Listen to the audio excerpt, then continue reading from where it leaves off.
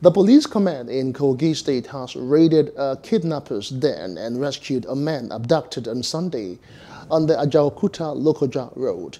In a statement in Lokoja on Monday, the command spokesman, DSP William Aya, said that they recovered two AK-47 rifles and 29 rounds of live ammunition.